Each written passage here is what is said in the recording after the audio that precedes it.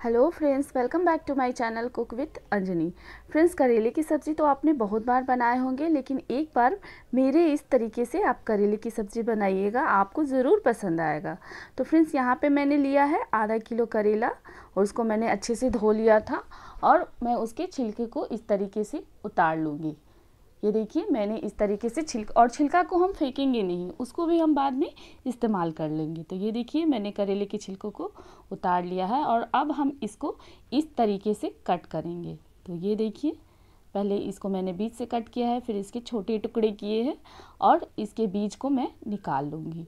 Friends, एक बार इस तरीके से करेले की सब्ज़ी बना के देखिएगा, आपको ज़रूर पसंद आएगा और इससे मैं बताऊँगी कि इसकी कड़वाहट को कैसे कम कर सकते हैं ताकि बच्चे भी इस सब्ज़ी को आराम से खा सकते हैं। तो ये देखिए, मैंने इस तरीके से इसको टुकड़ों में कट कर लिया है। अब मैंने लिया है एक बाउल, इसमें मैंने डाला है करेला और ऊपर से मैंने डाला है नमक और थोड़ी सी हल्दी और इसको हम मैरिनेट करके छोड़ देंगे। तो ये देखिए, मैंने इसे मैरिनेट कर दिया है। यहाँ पे मैंने लिया है तीन प्याज, दो प्याज को मैंने बारीक चॉप किया है और एक बड़े प्याज को मैंने इस तरीके से बड़े टुकड़ों में इस तरीके से काट लिया है। यहाँ पे मैंने लिया है कुछ मसाले, जैसे कि जीरा, काली मिर्च, दालचीनी, अदरक और थोड़ी सी लहसुन। इसका हम पेस्ट तैयार करके रख लेंगे। तो यहाँ पे देखिए, ये करेला मैंने अच्छे से वॉश कर लिया था और यहाँ पे एक पैन में मैंने लिया है सरसों का तेल। मैं करेला सरसों के तेल में ही बनाती हूँ। आप चाहे तो कोई भी कुकिंग ऑयल में बना सकती है, कोई दिक्कत नहीं है। तो अब हम यहाँ पे इस करेले को इसमें डालेंगे। जैसे ही तेल गर्म हो, इसमें करेले को डाल देना है और इसको हम कर लेंगे फ्राई। फ्रेंड्स, इस तरीके से करेले की सब्ज़ी बना के देखिएगा। आई होप आपकी फैमिली मेंबर को ज़रूर पसंद आएँगे, क्योंकि ये बिल्कुल अलग रेसिपी है। तो ये देखिए, करेला फ्राई हो चुका है। अब हम इसको एक प्लेट में इस तरीके से निकाल लेंगे और बचे हुए ऑयल में यहाँ पे मैंने डाल दिया है। जो बड़े टुकड़ों में मैंने प्याज को कट किया था, उसको भी हम थोड़ी देर फ्राई करेंगे। इसको ज़्यादा फ्राई नहीं करना है, बस हल्का सॉटे कर लेना है। तो इनको भी मैंने अलग प्लेट में निकाल लिया है। अब इसमें मैं डालूँगी थोड़ा सा और ऑयल। और यहाँ पे मैं ऐड कर रही हूँ इसमें एक इंच दालचीनी का टुकड़ा, दो तेज पत्ता और एक चम्मच पंचफोड़न इससे सब्ज़ी बहुत ज़्यादा टेस्टी बनती है। तो इन मसालों को हम थोड़ी देर इस तरीके से चला लेंगे।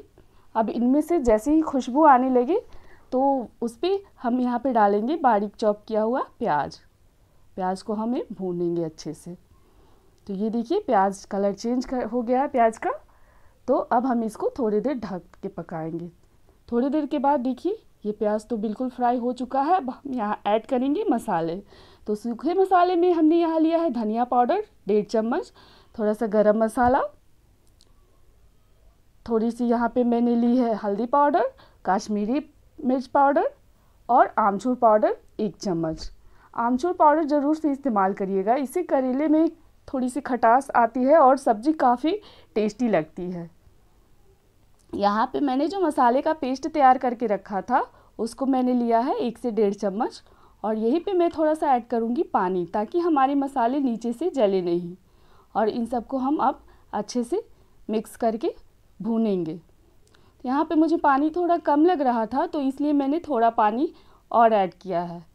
और अब हम मसालों को अच्छे से बिल्कुल लो फ्लेम पे भूनेंगे। फ्रेंड्स, मैंने इसको ढक के पकाया दो मिनट, उसके बाद मैंने यहाँ ऐड किया है नमक। ध्यान रहे कि नमक हमने मैरिनेशन के समय भी ऐड किया था तो करेले थोड़े से नमकीन तो हो ही जाते हैं तो इसलिए आप नमक अपने हिसाब से डालें। तो जैसे ही मसाले फ्राई हो चुके थे, यहाँ पे मैंने देखा कि मसाले अच्छे से फ्राई हो चुके हैं तो यहाँ पे मैंने ऐड किया है करेला, जो हमने फ्राई करके रखा था। अब इन सबको हम मसाले में अच्छे से मिक्स कर लेंगे। तो ये देखिए, यहाँ पे मैंने अच्छे से इनको मसाले में मिक्स कर लिया है। फ्रेंड्स, ये पूरी सब्ज़ी बिल्कुल मीडियम आँच पे बनाए या मीडियम टू लो आँच पे बनाए। तो ये देखिए, मैंने कवर हटा के देखा तो देखिए, सब्ज़ी कितनी अच्छी दिख रही है। मसाले बिल्कुल से मतलब अच्छे से फ्राई हो चुके हैं।